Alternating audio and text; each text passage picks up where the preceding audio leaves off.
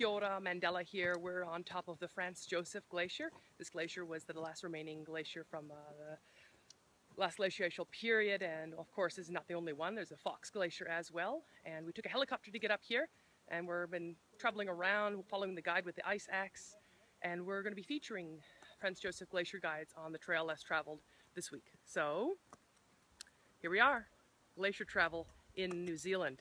The trail less traveled of course has led to the west coast of New Zealand on Franz Josef Glacier.